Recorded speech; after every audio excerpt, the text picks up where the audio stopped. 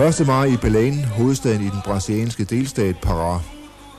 MST, en stor græsrodsbevægelse af jordløse landarbejdere, lokale fagforeninger og byens borgmester fra Arbejderpartiet PT, bruger dagen til at opstille en skamstøtte til minder om en massakre begået af lokalt militærpoliti mod fattige jordløse i landsbyen Eldorado de Caracas i april 1996.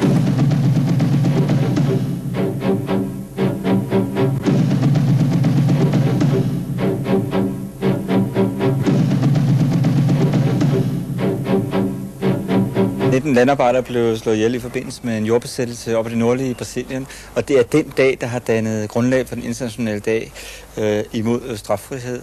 Og derfor vil jeg stille den der.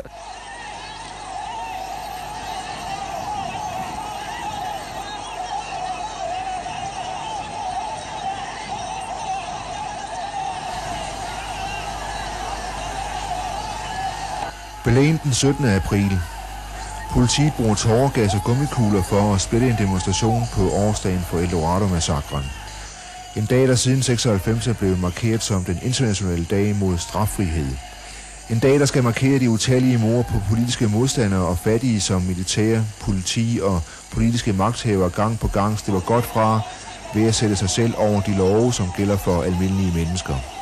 Straffrihed betyder, at man kan bestikke nogle politibetjente for at gå ud og slå bønder ihjel på ens mark, for eksempel. Skyde dem klods op i hovedet, og bagefter så går retssystemet i gang, siger, at der er nogle folk, der er døde, hvad gør vi så ved det? Og så bestikker man dommerne eller noget andet, eller da de nu opdager, at det er ens gods, det er godsejersønnen, eller det er godsejeren, der har stået bag ved det her, så gør de ingenting.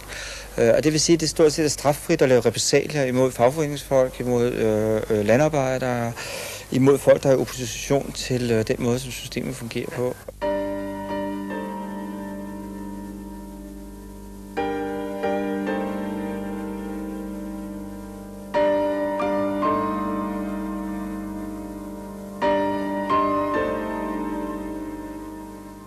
Mindekapellet tæt ved Eldorado de Caracas i delstaten Pará i det nordøstlige Brasilien.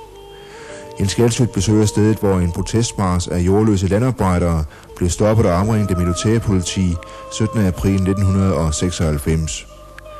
Da marsdeltagerne nægter at opløse demonstrationen, åbner soldaterne ild uden varsel. I løbet af ganske kort tid bliver 19 dræbt og 69 hårdt såret. So these are some of the scars left by the massacre. He had three bullets in his body. Mais ou menos aqui assim. Nessa outra perna aqui também. Aí. So that was the man who had 15 bullets in his body. Luis Mangiano blev ramt af tre kugler, da han ville hente sin far, der lå dræbt på vejen, efter at militærpolitiet havde åbnet ild den 17. april 1996. Juan Diaz blev ramt af hele 15 kugler. Tre sidder stadig i kroppen i dag, fire år efter. Sammen med andre sårede fra Eldorado-massakren fortæller de den samme tragiske historie om varige fysiske og psykiske men, der gør dem ude af stand til at leve et normalt liv fire år efter, hvor endnu ingen af de ansvarlige for militærpolitiets brutale nedslagning er blevet dømt. Derimod blev en række ledere af Marsen arresteret og anklaget for vold mod politiet. Det der med, at man har nogle love, der siger et, men i princippet gør noget andet. Loven er ikke lige for nogen som helst. Og det er så, der er landarbejderne, og kaster en sten mod en eller anden, ikke? så kører hele maskineriet, så ryger de i spjældet, så bliver de anklaget for det ene og det andet, og sidder spjældet i overvis. Øh, og det er klart, det giver en nogle enormt ulige kampbetingelser i sådan et land.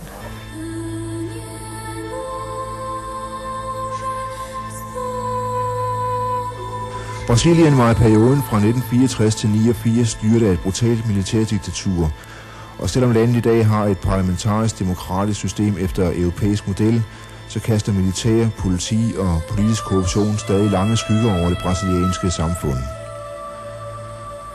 Landet er på trods af store naturressourcer og økonomisk vækst stadig præget af enorme sociale forskelle.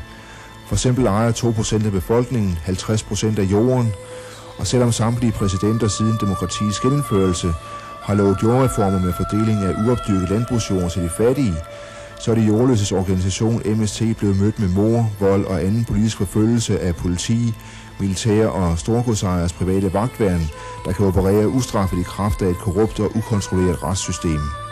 Således er der siden 1985 blevet dræbt ca. 2.000 MST-aktivister i forbindelse med jordbesættelser, hvor landarbejdere og fattige fra byernes slumkvarterer har krævet, at regeringen skulle holde deres løfter.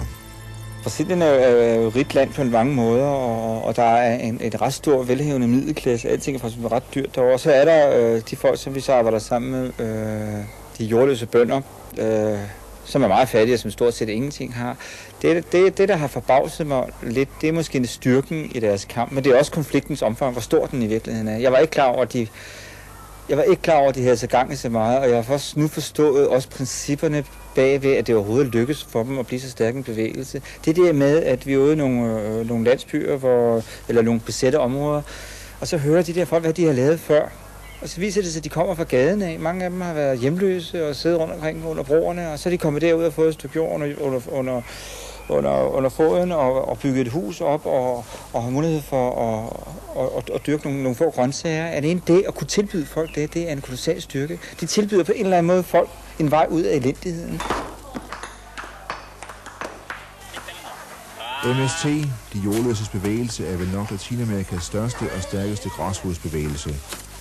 Og i løbet af i år regner MST med at nå op på mere end 500 jordbesættelser, hvor man tvinger myndighederne til at anerkende de fattiges ret til jord.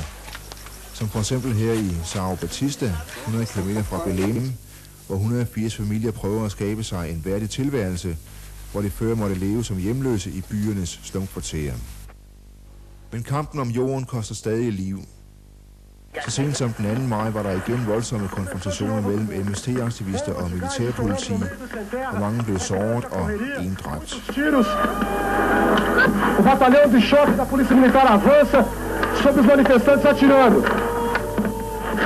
Os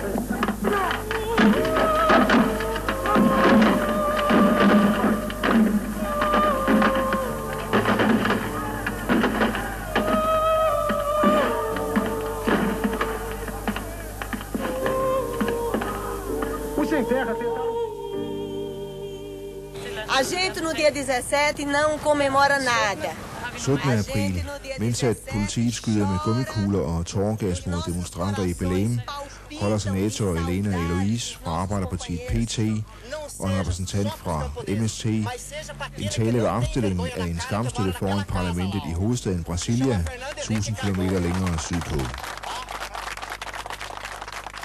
Jeg vil gerne ligesom tvinge dem op i et hjørne, hvor, siger, hvor, hvor parlamentet skulle sige, vi er ikke enige i den måde, som det brasilianske retssystem fungerer på nogen steder.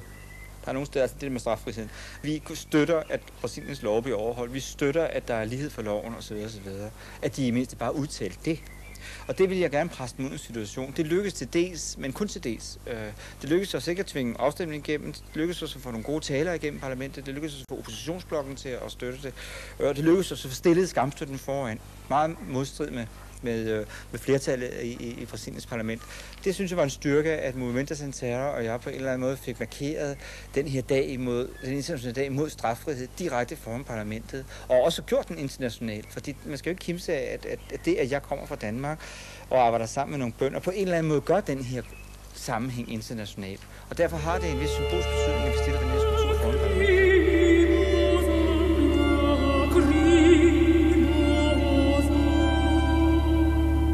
Før sin afrejse til Brasilien havde Jens Galsødt i personlige breve til hver enkelt parlamentsmedlem tilbudt at forære skulpturen til parlamentet, hvis de ville have den stående som et symbol mod den straffrihed, der stadig plager det brasilianske demokrati. Men kun repræsentanter fra den socialistiske opposition bakkede positivt op om tilbuddet og sikrede en symbolsk opstilling i to dage. Åh, oh, det er simpelthen utroligt. Vi har haft så kolossalt mange problemer. Jeg, jeg, jeg, jeg har simpelthen mange gange tænkt, at det går sgu ikke den her gang. Så jeg tror, vi har været fantastisk heldige, altså, øh, at, at den overhovedet er kommet op her. Det var så sent som i dag, eller sent som i går, der var der en artikel, der ikke kom i avisen, fordi justits, justis, justitsministeren havde sagt til pressen, at øh, prøv lige at høre, den her skulptur kommer ikke op her. Og så på den måde har vi virkelig haft en voldsomme kræfter imod os. Men øh, nu står den her, og der er en eller anden, der har fået en barmand et eller andet sted. Det, det er fandme fedt.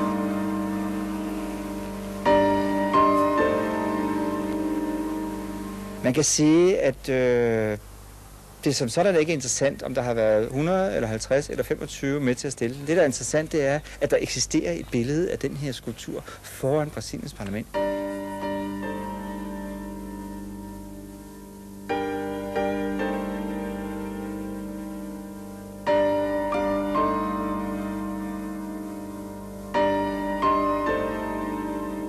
Da coluna da infâmia!